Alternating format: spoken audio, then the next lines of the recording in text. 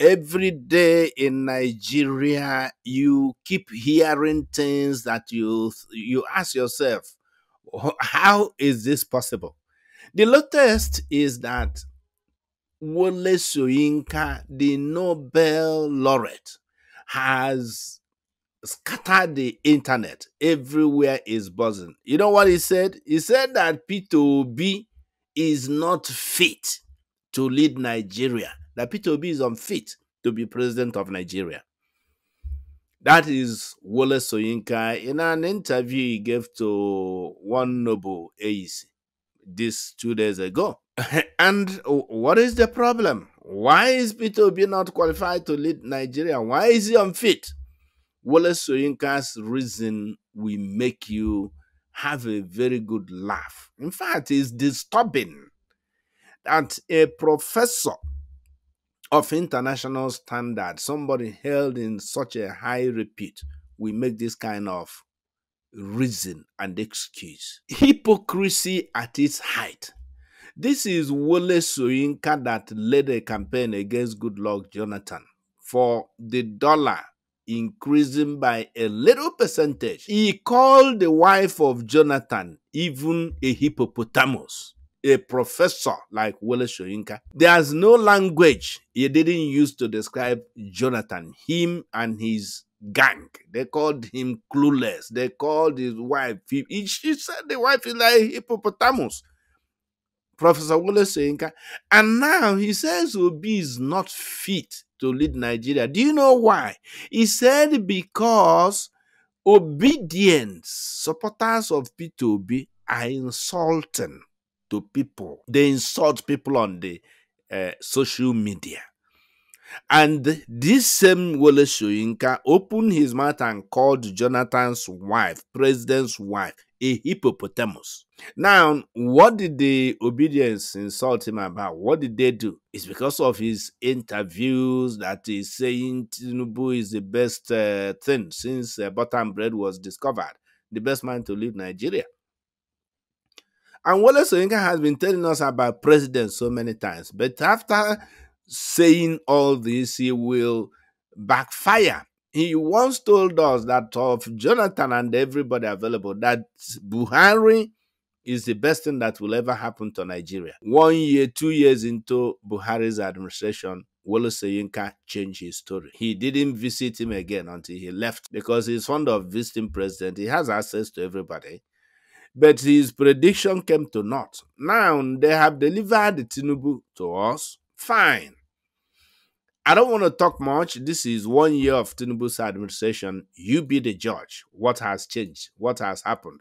How happy Nigeria is today. And now Wole Soyinka is talking of 2027 that he hoping, he's advising that Peter Obi should not come out because he's unfit to lead Nigeria.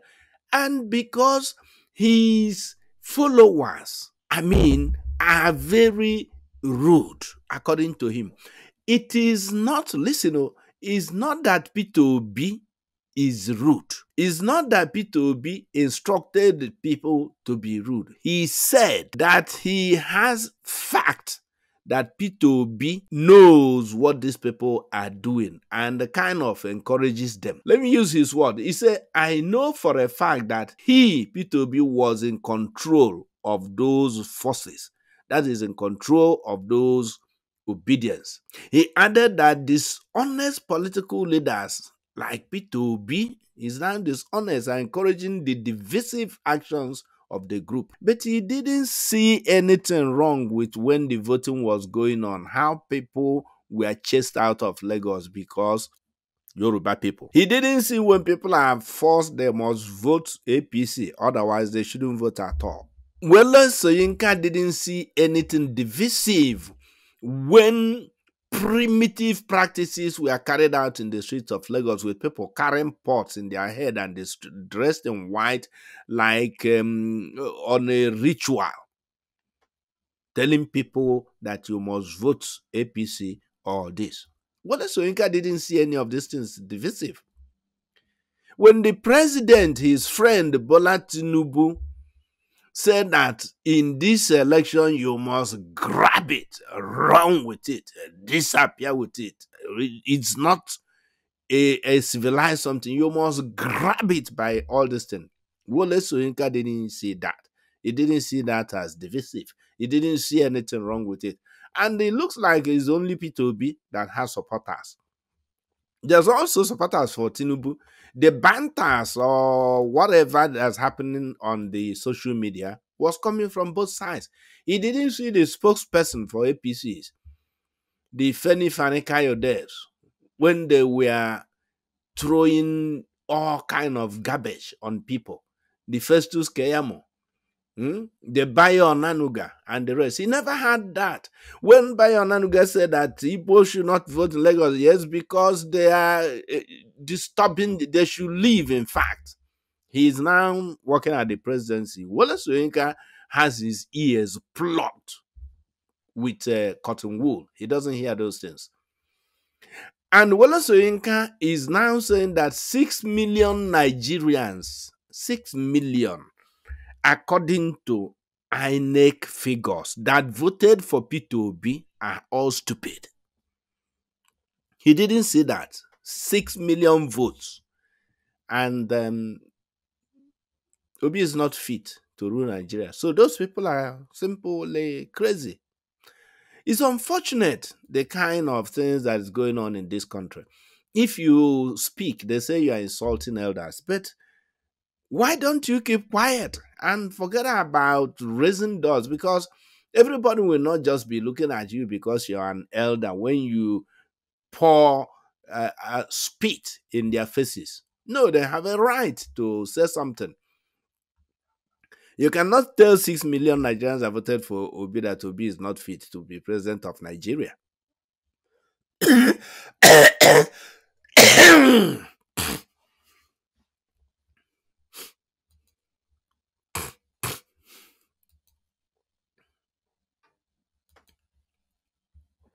That's not possible. You are not, you are building what you call divisive. You are the one that is now creating it because you're drawing lines, demarcation, who could be and who could not. And you have not been doing this. It's not like you started it today. Like I mentioned, you have been on it for so long. You participated in protests against Goodluck Ebele Jonathan. You insulted him. You people called him names, clueless. He was the most insulted president in Nigeria. You called, you even left Jonathan and went and insulted the wife, a first lady of a country where you're a citizen. Today, you have moved to P2B because you have a Tinubu as a brother. You have a Tinubu as your friend who has helped you before with largesse to settle you down with your family when you had nothing and you think you have to pay him back.